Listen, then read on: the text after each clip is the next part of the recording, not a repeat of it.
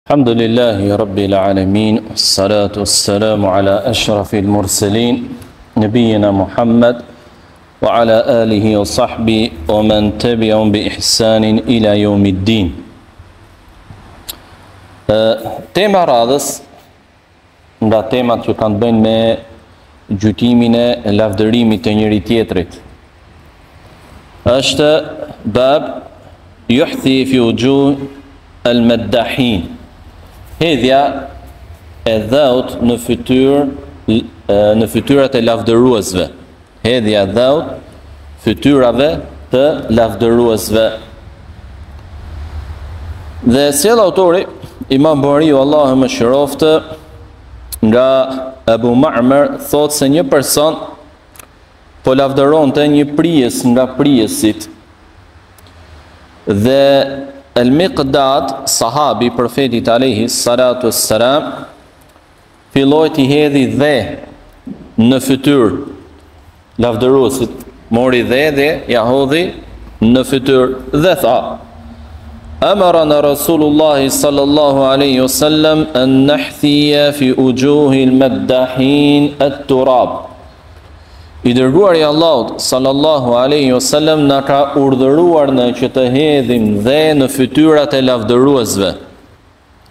të hedhim dhe në fytyrat e lavdëruesve.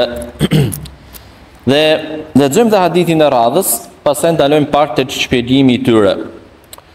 Po kështu përcillet nga Ata ibn Ebi Rabah, se një person po lavdëronte dikën tjetër në prezencë të Abdullah ibn Umerit, radiallahu ta'ala anhuma, Dhe në këtë moment ibn Umeri mori dhe ja dhe ja hodhi në gojë lavdëruesit. Mori dhe dhe ja hodhi në gojë dhe tha: I dërguari i Allahut sallallahu alaihi wasallam ka thënë: "Idha ra'aytumul maddahin fahthu fi wujuhihim at-turab." Kur të shihni lavdëruesit, hidhni dhe në fytyrat e tyre. Në këto dy hadithe tregohet qëndrimi që duhet të mbajë muslimani ndaj atyre që lavdërojnë të tjerët. Dhe kemi thënë më parë se lavdërimi në origjinë nuk duhet të bëhet. Në bazë të haditheve të profetit alejhi salatu selam që përmendëm në mësimin e parë, në një hadith thotë, el medhu dhebhum, lavdërimi është therje, Pra njësoj e therja që i merr jetën krijesës edhe lavdërimi e këput e ndërpret siç ndërpret therja jetën e ndërpret zellin, hovin, përkushtimin apo prish edhe nijetin e personit i cili kur sheh dhe dëgjon se si të tjerët fillojnë ta lavdërojnë. Pse ndodh kjo gjë? Ndodh kjo gjë sepse tek ai fillon të hyjë vetëkënaqësia, vetëpëlqimi, mbivlerësimi i vetes, pastaj përçmimi i të tjerëve, ajo punë, ai adhurim që bën i duket shumë herë më i madh, më i tepërt se të tjerët, dhe gjë që ose mund ta çojë në në kryerjen e adhurimeve tani publikisht. Me qëllim që lavdërimi i tij të bëhet akoma dhe më i madh, të përhapet akoma dhe më shumë etj. Pra e dëmton. E dëmton personin, prandaj profeti alayhis salam kur shihte dikën që lavdëronte dikën, e ndalonte atë dhe i thoshte kujdes mos e shkatërro vëllanë tënd. Pra e shkatërron. Por ka raste thamë që lejohet lavdërimi. Ka raste që lejohet kur është e nevojshme dhe kjo me kushte. Kushti i parë është që kur është e nevojshme të bëhet lavdërimi, e domosdoshme dhe përmendëm shembuj, ë t'i bashkëngjitet shprehja që përmendi profeti alayhis salam, ahsibuhu kadha, pra pasi ta lavdërojë njeriu, të thotë, unë e mendoj të tillë, wa hasibuhu Allah, dhe llogarimarrësi i tij është Allahu. Wa la yuzakki ala Allahi ahad dhe askënd mos lavdërojë për tek Allahu. E dyta është të mos e lavdërojë për diçka që ai nuk e ka. Pra edhe nëse duhet është e nevojshme ta lavdërojë dikën, jo ta lavdërojë për gjëra, për cilësi apo veçori që ai në realitet nuk i ka. Pra mund të jetë bujar, por s'është i dijshëm. Mund të jetë i dijshëm, por s'është bujar, është koprac. Pra jo ta lavdërojë për të dyja, por vetëm për e, atë që ka dhe kushti i tretë është që të jetë i sigurt që ky person nuk do të ndikohet negativisht nga lavdërimi i tij. Dhe përmendëm hadithin e profetit alayhis salam i cili tha ni'ma rajul Abu Bakr, ni'ma rajul Umar, Ebu Bekri është njeri i mirë, Umër, Umeri një është njeri i mirë dhe përmendi disa hadithi Ebu Hurejrës, disa nga sahabët e tij.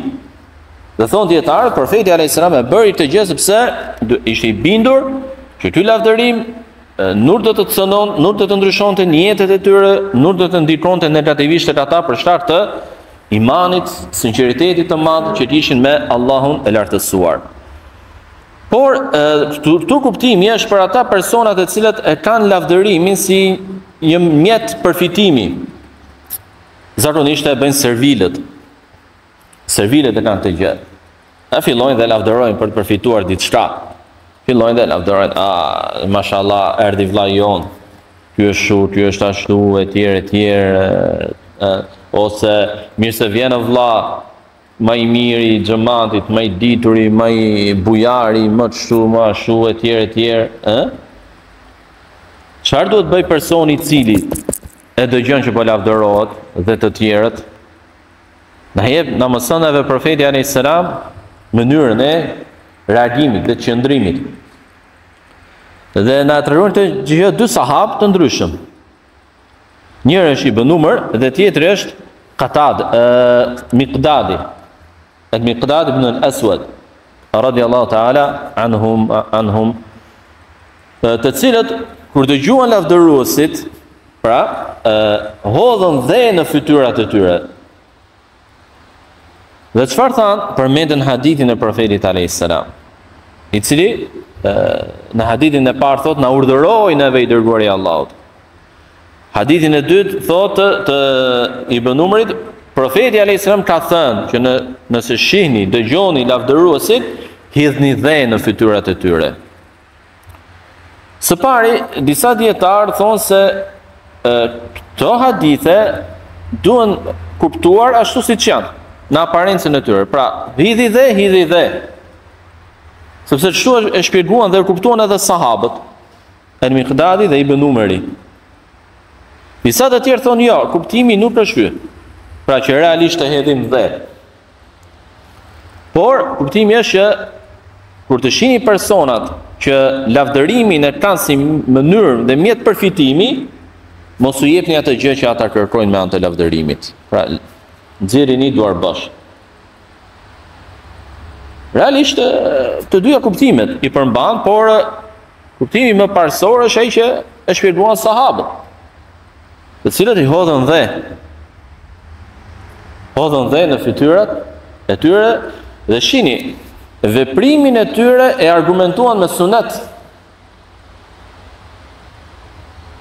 gjë që do të thotë se muslimani për çdo gjë për çdo gjykim fetar që jep ë duhet të jetë i bazuar në fe në argument në Kur'an dhe sunet Dhe shini se sa të kapur pas sunetit ishin sahabët. Çdo gjë e vepronin me sunet. Çdo gjë e vepronin me sunet. Pra nëse përmendin ndonjë gjykim fetar, nëse bënin ndonjë veprim, përmendin argumentin.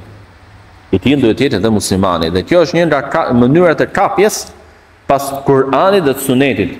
Cila është argumentimi me to? Nga Sheikh Bin Bazi, Allahu e mëshiroftë, i cili kur lexoj ndonjëherë fatva të tij, ka një një një argumentim të çuditshëm si me Kur'anin dhe Sunetin. Përmend argumente njëra pas tjetrës. Pra, nëse çështja ka më tepër se një argument, ai sjell më tepër se një argument, si nga Kur'ani ashtu dhe nga Suneti. Dhe kjo është nga llojet e kapjes pas Kur'anit dhe Sunetit.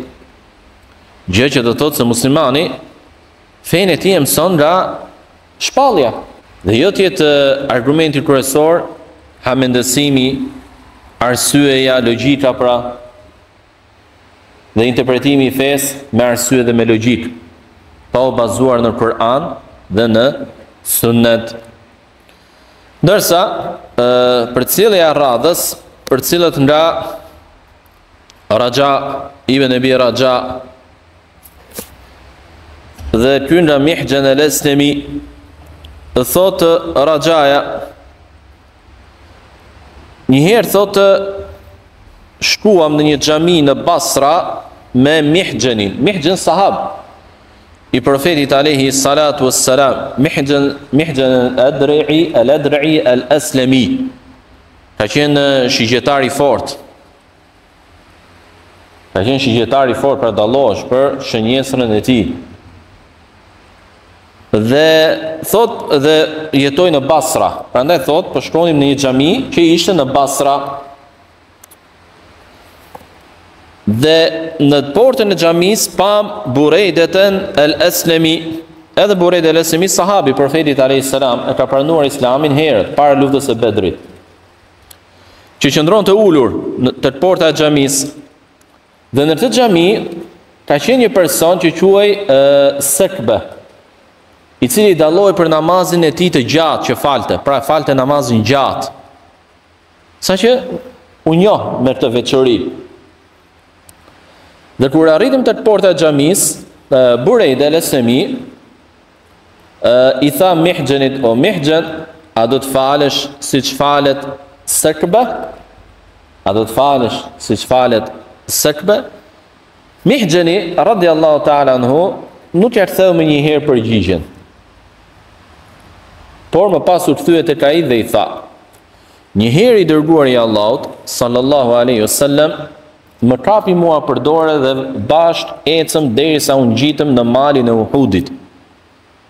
Pra kanë qenë pranë malit të Uhudit dhe u kthyem nga Medina, pra për të parë qytetin e Medinës, sepse dur është pranë mali Uhudit me Medinën, sot është zonë e qytetit. nga zgjerimi që ka pësuar Medina. Edhe tha profeti Alehi Salam në formë çudie, tha, ah, tha, e, për këtë vend të cilin njerëzit do ta lënë, kur ai të jetë i zhvilluar, ah, për këtë vend që njerëzit do ta lënë, kur ai të jetë i zhvilluar, Dhe në këtë vend do të vijë Dexhali, thotë. Por në çdo portë, prej portave të qytetit, Medinës, pra do të gjejë një melek, që e ruan atë, prandaj nuk do të ketë mundësi të hyjë. Më pas thotë Mihxheni zbritëm nga mali me profetin a.s. derisa u afruam te xhamia Derisa erdhëm në xhami dhe profeti alayhi salatu selam pa një person që po falej, bënte sexhden, thotë bënte rukunë dhe më tha i dërguari i Allahut, pra thotë Mihxheni, cili është ky? Unë fillova ta teproj në lavdërimin për të, duke thënë, o i dërguar i Allahut, ai është këtë filani, është kështu e ashtu. Profeti a.s. më tha, emsik, la tusmi'uhu fetehlikahu. la fatahliku. Hesht që mos të të dëgjojë se përndryshe do ta shkatërrosh atë.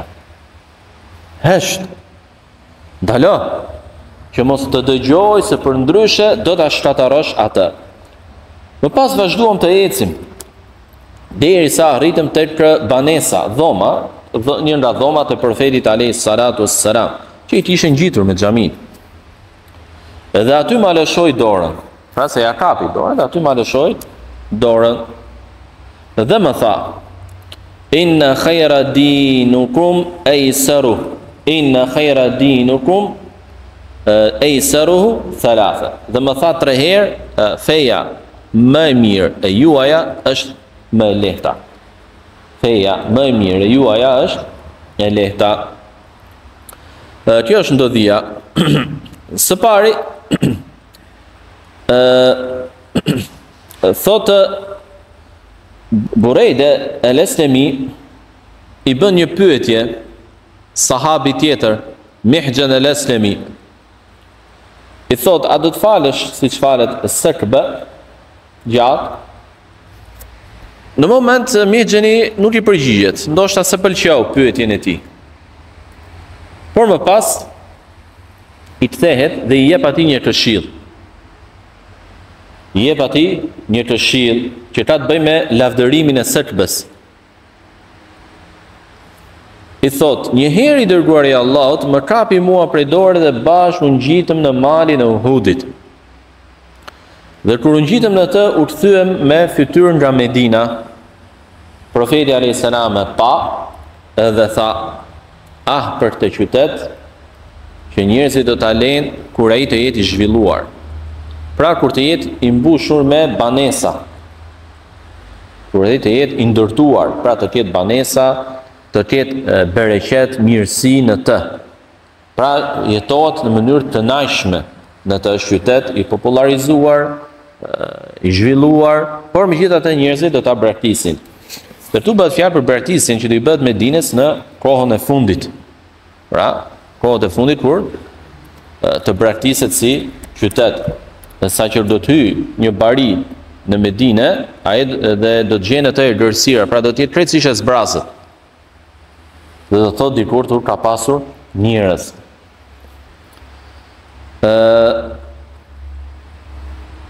Dhe më, dhe më pas, profeti a.s. tregoi për një nga vlerat dhe mirësitë e mëdha të Medinës, Dhe është një mirësi shumë e madhe, sepse bëhet fjalë për sprovën e madhe të Dexhalit.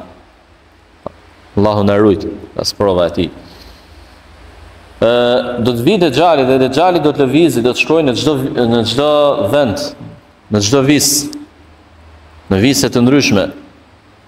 Dhe do të vijë dhe në Medine, për të hyrë, do të tentojë dhe do të dëshirojë që të hyjë, për t'i humbur banorët e saj.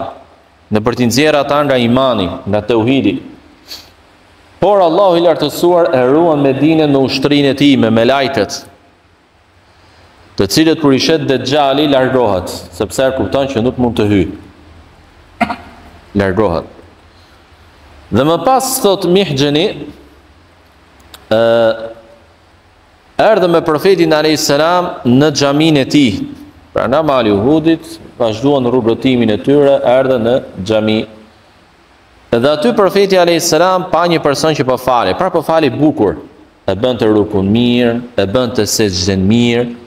Pra i pëlqeu ky namaz, profetit a.s. Pra dukej përkushtim dhe frikë në namaz. Saqë pyeti, cili është ky person? Mihxheni, radi Allahu teala anhu, i tha i dërguari i Allahut është ky dhe filloi të përmendi lavdërime për të, dhe ta teprojë në lavdërim. Profeti alejhi selam i tha ndalo, hesht, dhe i tregoi arsyen, sepse po të dëgjoi, do ta shkatërrosh atë. Cili është kuptimi do ta shkatërrosh? Pra mund të prishësh nijetin e tij. Futësh tek ai syefaqësinë, pra kur ai të dëgjojë se ne jemi këtu dhe po, po pëlqejmë ibadetin e tij dhe dëgjon lavdërimin tonë, Atëherë mund të hyjë tek ai syefaqësia. Pranë meje i dërguari i Allahut, ëh, do ta po e pëlqen namazin tim dhe mund ta zbukurojë jo për Allahun, por që ta shohin të tjerët. Ose të hyjë tek ai vetëpëlqimi, vetëkënaqësia që tha më parë mbivlerësimi i vetes. Hesht se po të dëgjoi do ta shkatërrosh. Prandaj muslimani nuk duhet ta lavdërojë muslimanin vetëm se kur është e nevojshme dhe pa e tepruar, pa e lavdëruar për gjëra që nuk i ka dhe jo ta lavdërojë për gjëra të cilat nuk është e nevojshme që të përmenden prej cilësive të tij. Po duhet të jetë i kujdesshëm. muslimani nga lavdërimi i tjetrit. Dhe më pas ë thotë profeti alayhis salam vazhduam dhe kur arritëm tek një nga dhomat e profetit alayhis salam më lëshoi dorën. Fakti që profeti alayhis salam i kapte dorën sahabit të tij dhe këtë ka bërë edhe me sahabë të tjerë tregon dashurinë që kishte profeti alayhis salam për sahabët e tij. Dhe kjo është një mënyrë që shprehnin dashurinë arabët në atë kohë, por që e praktikojnë edhe sot. Pra kur takohen, kapen për dore me njëri-tjetrin, ndoshta tek ne zakoni joni është që është pak e bezdisshme apo pak e rëndë. Për ne por, ata e praktikonin këtë gjë më parë, e ka praktikuar profeti a.s. dhe e praktikojnë edhe sot. Dhe gjithashtu tregon edhe modestinë, thjeshtësinë e profetit a.s. Pra edhe pse ishte njeriu më i shquar në dynja dhe në ahiret, me, më i lartë i tek Allahu i lartësuar, prapë qëndronte, ecte me sahabët e tij, kapej për dore me sahabët e tij, pra të, tregon thjeshtësi. Dhe këto janë fragmente, janë modele që ne duhet t'i kemi në jetën tonë. Çdokush nga ne që nesër pasnesër apo ka arritur një post, një famë, një autoritet, një pozitë e tjera, kjo nuk duhet ta shtyjë që të bëhet mendjemadh duke qëndruar larg njerëzve. Përkundrazi, profeti alayhis salam qëndronte pranë njerëzve. Saqë shoqërohej me ta edhe në këtë mënyrë. Alayhi salatu wassalam. Dhe tha, inna khajra dinikum ejseruhu Feja juaj tha, më, le, më e, mirë është më e lehta. Kuptimi, këtu është që muslimani nuk duhet ta mbingarkojë veten e tij me adhurime të cilat nuk ka mundësi më që t'i kryejë ose ë edhe dëmtohet prej tyre. Për shembull, nëse ka një punë të rëndë dhe ai dëshiron të agjërojë një ditë po, një ditë jo apo diçka më pak, por agjërime nafile flasim por ky agjërim e sfilit trupin e tij e lodh trupin e tij gjë që mund të çojë edhe në në në dëmtim të shëndetit të tij për shkak të punës ose për shembull mund të jetë shofer dhe nga orët e gjata të agjërimit mund ta çojë në humbjen e kontrollit dhe rrezikon jetën e tij por edhe jetën e të tjerëve ose mund të jetë që nuk ka të bëjë puna e tij direkt me të tjerët, por nuk arrin dot ta realizojë, ta përmbushë, ta kryejë siç duhet, për shkak të agjërimit dhe ka detyrë që ta kryejë atë punë siç duhet. Atëherë duhet të dijë t'i japë përparësi, atyre që janë më primare, atyre që janë, që kanë një gjyë, që janë obligative, ndaj atyre të cilat nuk i ka obligative, por i ka nafile, por as edhe të kryejë adhurime të cilat në një në një mënyrë që më pas e lë atë dhe nuk e bën më. Për shembull namazin e natës. Dhe namazi i natës namazi më i mirë pas namazit farz. I dërguar i Allahut sallallahu alaihi wasallam e kishte detyrë në mënyrë të veçantë nga Allahu namazin e natës. Sahabët e tij radhiyallahu ta'ala anhum e kryenin namazin e natës Muslimanët e mirë që erdhën pas tyre e kryen namazin e natës. Dhe namazi i natës, edhe pse është sunet në gjykimin e tij, është nga adhurimet më të mëdha që të afron tek Allahu i lartësuar.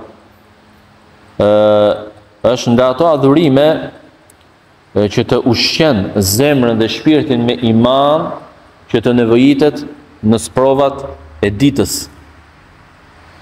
Dhe është nga ato adhurime që të ndihmon që namazin farz ta falësh në mënyrë më të bukur, më të përqendruar, më me përkushtim ndaj Allahut. Prandaj kush ata të cilët e Ia njohën vlerën dhe rëndësinë namazit të natës, nuk e lanë kurrë atë edhe pse nuk ia kanë ndjerë ëmbëlsinë këtij adhurimi për vite e vite të tëra. Por ka pasur prej atyre të cilët edhe kur ishin tepër të lodhur gjatë, gjatë natës për shkak të angazhimeve të ditës, çoheshin çoheshin dhe rrinin ulur, bënin dhikër, vetëm e vetëm që të mos e humbnin atë vazhdimësi në namazin e natës.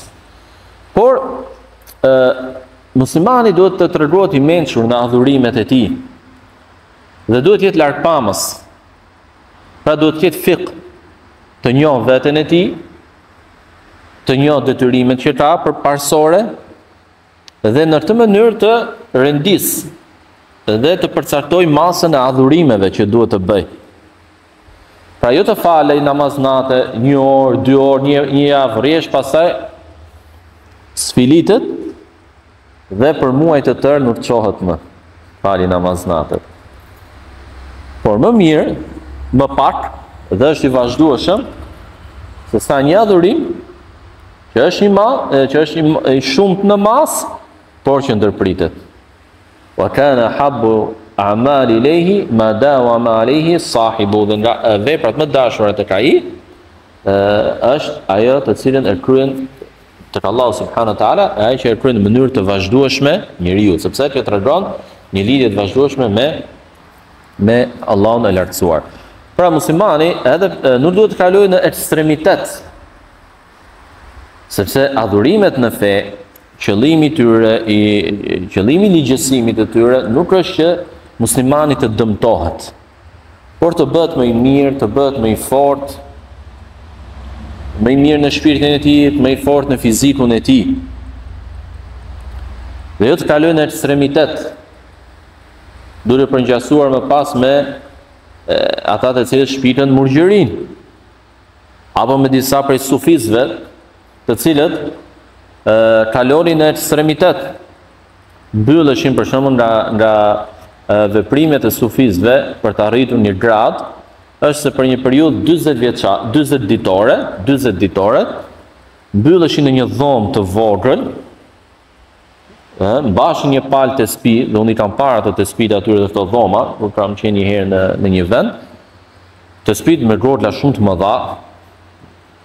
Gogla të mëdha, sa një top 40, kush i mban mend topat plastik më parë 40, ëh, ato topat. Dhe e bëshin vetëm dhikër. Pra nuk dilshin as për namazin farz, as për obligimet ndaj familjes tyre, as për detyrimet tjera fetare, dhe qëndronin aty. Kjo është, jo vetëm kjo është bidat në llojin e tij, por është edhe ekstremizm. Dhe as të kalojë në atë mënyrë siç dëshironte Abdullah ibn Amr ibn al-As, i cili i kërkoi profetit a.s. që të agjëronte çdo ditë, dhe ta lexonte Kuranin çdo natë, Profeti alayhis salam nuk e ndaloi nga këto adhurime, por thjesht e kanalizoi. Duke i thënë, një ditë po, një ditë jo, a, ose agjërimin e Daudit alayhis salam apo 3 ditë në muaj, po ashtu për leximin e Kuranit i la jo më pak se në 3 ditë. Ë, jo më pak se në 3 ditë. Prandaj e thotë profeti alayhis salam dhe kjo na tregon kjo është edhe nga ky hadith tregon edhe nga bukuritë e kësaj feje. Pra kjo fe është, kjo fe është e lehtë. Dhe po të vëmë re, ka dikush mundësi që s'e kryen dot namazin, pra që është i aftë mendërisht, edhe ai i cili nuk çohet dot nga shtrati i tij, edhe ai ka mënyrën e tij se si mund ta kryejë namazin. Ka mundësi dikush që s'agjëron, Po ka, por ka adhurim tjetër zëvendësues për të. Ka dikush që nuk nuk bën dot dhikër? Nuk ka. Pra çdo adhurim në fe do të shohim që mund të kryet nga njerëzit. La yukallifullahu nafsan illa wus'aha. Allah s'e obligon njeriun përtej mundësive të tij. Yuridu Allahu bikum al-yusr wa la yuridu bikum al-usr. Allahu do lehtësinë për ju dhe nuk dëshiron vështirësinë. Pra kjo është tema që ka të bëjë me qëndrimin dhe reagimin që duhet të ketë muslimani ndaj atyre të cilët e lavdërojnë të tjerët. Ndërsa tema e radhës ka të bëjë me janë një sërë tema që kanë të bëjë me vizitën dhe rregullat e vizitës dhe konkretisht tema e radhës thotë mos e ndero shokun tënd me diçka që e lëndon apo e vë në siklet në vështirësi atë. Ka një sërë tema që kanë të bëjnë me vizitën dhe rregullat e vizitës dhe konkretisht tema e radhës thotë mos e ndero shokun tënd me diçka që e lëndon apo e vë në siklet në vështirësi atë.